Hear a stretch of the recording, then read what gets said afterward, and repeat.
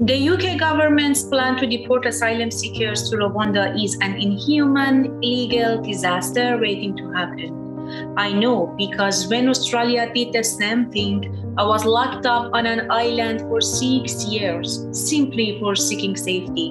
Priti Patel's promises of fairness are empty. Australian Prime Minister Scott Morrison made the same promises.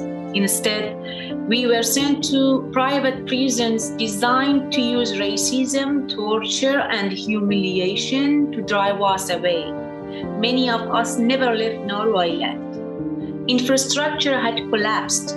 We routinely went without clean water and electricity. The air in the former phosphate mine we were held in was full of dangerous chemicals.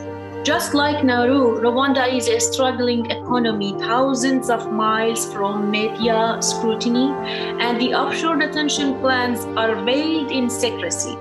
Patel is keen to distance herself from the Australian model because it was a cruel, costly nightmare that served one purpose handing vast amounts of public money to companies profiting from border violence. In Australia, about $2 billion a year was poured into the border and surveillance industry.